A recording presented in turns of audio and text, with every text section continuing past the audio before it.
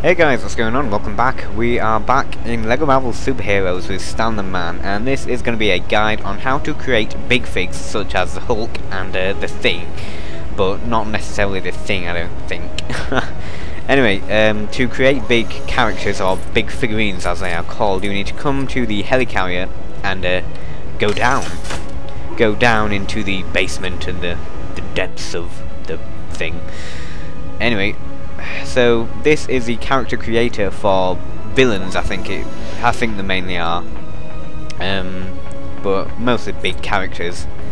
Anyway, you'll see in a minute. So yeah, come here, come through this corridor. what the hell did we just do there?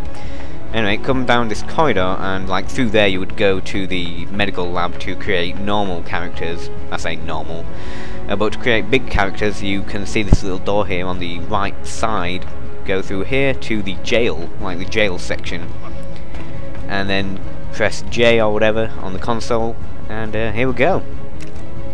Select her character slot, and so as you can see, big characters such as the Hulk.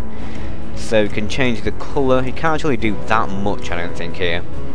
Uh, you can change the name. I think that's the name, is it? Uh, yeah, that's. Oh no, that's code. Ah, how to get back? There we go. Yeah, so that's about it.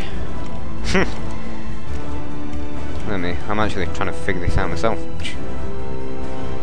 Ah, how do I get that?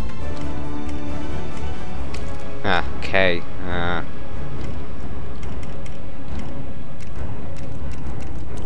Whoops. Alright, so yeah, if you choose a different slot, then it'll come up with different sort of characters, I think. Maybe, maybe not. About this one. So you got like different character skins, I think, but you can't actually do much. This is the uh, Meg, Me not Mega Man, God, like the um, Iron Man Juggernaut, is it Juggernaut? Something like that. Hulk Buster. There we go. And then uh, Custom N. Let's see. He's like, what is it? Oh, something with a K. Craft or something. Kurse. There we go.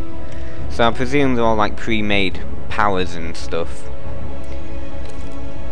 So it's just, you know, choose a different character. The Rhino, everyone knows him. So you can only change the colours of the skin. That's about all you can do. You can't really mix and match like you can in the other character creator. Then you got the uh, the Abomination. Can, so yeah, it's just the colours I think. Uh, custom Q is the thing so, uh, code. I don't think we want a code, but we want a name. I don't know. Dan or something. Dan. Simple but effective.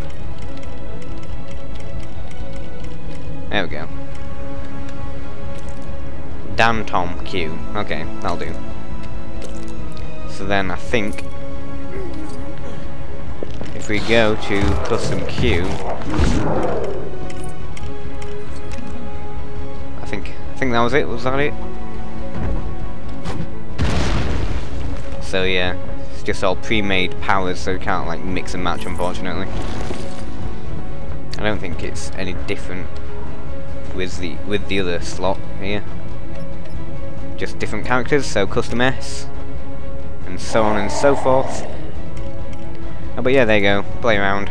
That's how you make custom big figs. Except as you can see, you, can only change the colour um, but yeah, hope this helped and you know gave you a bit of information. But yeah, thanks for watching.